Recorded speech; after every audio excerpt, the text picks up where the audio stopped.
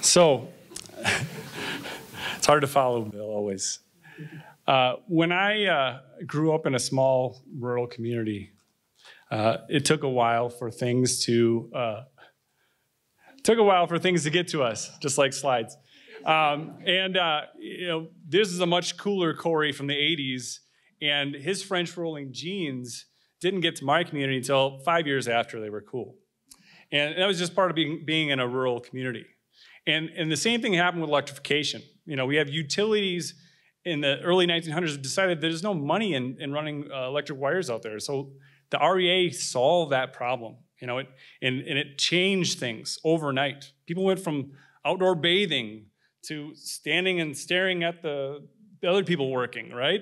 And, and the, the goal really was that this created a, a new day for rural communities.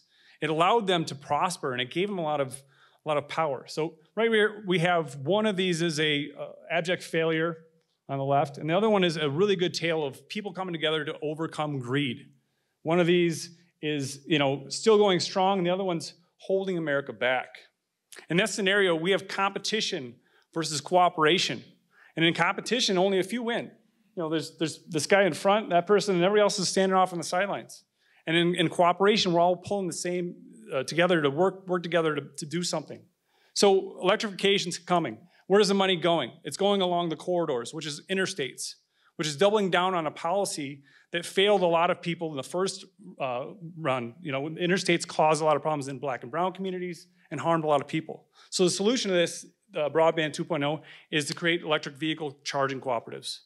It allows EV owners and local communities to come together and build product that helps enable the, the EV revolution. It's not for profit. And co-ops, they pool money, they put money to work.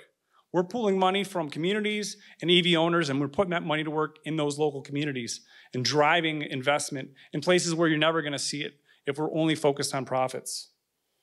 There's a lot of stakeholders out there, and my grandma was one too.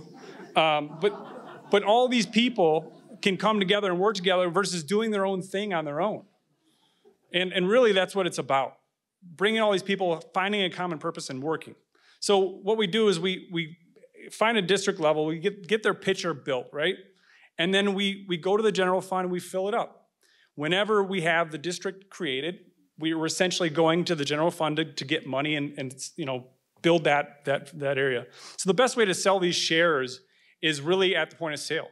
You're buying an electric vehicle. These, these vehicles, when you purchase them, if you have an electric vehicle charging uh, uh, uh, share with it, it becomes a more uh, a better investment for you.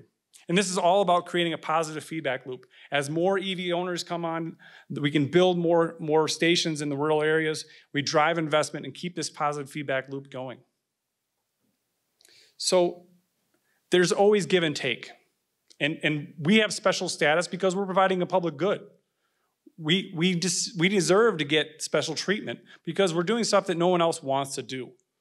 And, and the, the key here is that we're solving a problem that no one else is going to solve. And this is economic development. You go to your doctor talk about ED, or you can come to me to talk about ED.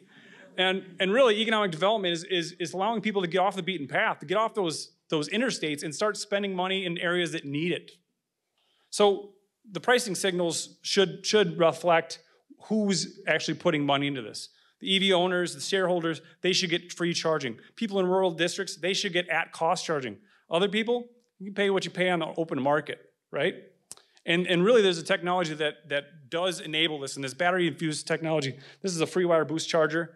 They're already doing this stuff. It's good to the grid, it's quick to deploy, and they're, and they're already doing this stuff uh, and networking them with Voltus and doing a lot of work with those folks it's important that this is owned locally because local electricians are going to go out there and service it. You're not going to roll a truck from 200, 200 miles away to go fix this stuff and have it be down for half, half a day or two days and really have a bunch of people mad at you. There's a lot of opportunities. Utilities going to look at this like it's Costco.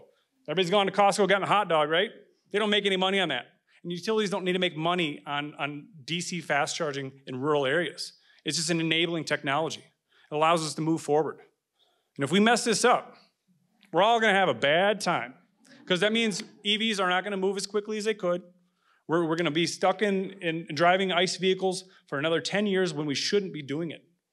And I think we really can do this because we've done this before. We did it with REA. We can do it with rural charging cooperatives, and we can get it right the first time. That's my speech.